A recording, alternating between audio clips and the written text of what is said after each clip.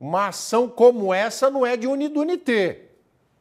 Rodrigo, é uma ação minuciosamente planejada porque os bandidos sabiam o que queriam e sabiam como pegar. E aí eles se organizaram. Isso deve ter, Rodrigo, e aí a polícia sempre trabalha com essa possibilidade ou com essa hipótese, ou, como dizem alguns, essa linha de investigação. A tal da fita dada ou a informação privilegiada. Dá uma olhada só. Tudo isso foi apreendido ali em Barueri, já chegando bem pertinho ali na região metropolitana da capital dos paulistas. Eles conseguiram chegar até lá. Porém, um cerco havia sido feito e aí tudo isso acabou sendo apreendido, Rodrigo. Vamos para o início da história. Esses homens entram então nessa casa, no Jardim Bom Pastor, na cidade de Botucatu, rendem ali um casal, um casal de empresários e a empregada.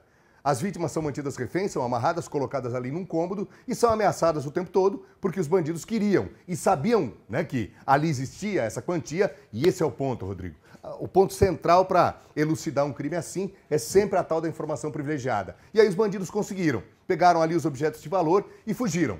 As vítimas, num certo momento, elas conseguem se soltar. Polícia é acionada, vira caráter geral, ou seja, as características dos veículos são passadas para a polícia e aí entra policiamento rodoviário, viaturas de área, o helicóptero Águia da Polícia Militar, que inclusive orientou as equipes em terra, e os dois veículos com os cinco homens dentro, os cinco bandidos, melhor dizendo, esses, esses dois veículos foram encontrados exatamente ali em Barueri. Foi feito um cerco e aí, no cerco que foi feito, a Polícia Militar não deu aos bandidos a possibilidade sequer de reagir e tudo aquilo que você viu foi apreendido. Você viu a quantidade de armas que eles possuíam, Rodrigo. Não se sabe exatamente se armas essas roubadas dessa casa ou se eles já estavam com esse armamento. Tudo isso agora vai fazer parte das apurações. As investigações elas continuam, não é? Até para entender de onde são esses homens, o que, que eles estavam fazendo em Botucatu, quais são as conexões para se adquirir informações privilegiadas. Mas o fato é que a ação de prisão desses homens, a polícia planejou de uma maneira perfeita. Fez o cerco, prendeu os dois casos, deu voz ali de, de deu ordem de parada. Os bandidos não tiveram como reagir. O Águia por cima cima orientando